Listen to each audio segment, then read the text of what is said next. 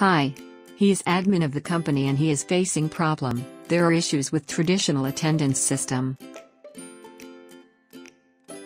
Issues such as employee forget the punching and walking without the punching. Queuing for punching. Traditional systems are not contactless, which is very important in current pandemic situation to avoid infection transfer. Expensive punching machine failing to register attendance. Current solutions are inefficient, expensive, inconvenient, can be tampered with.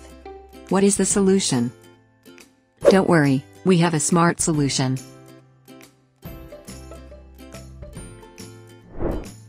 We are presenting GPS Attendance System. When enter the employee at office premises, automatically attendance get marked.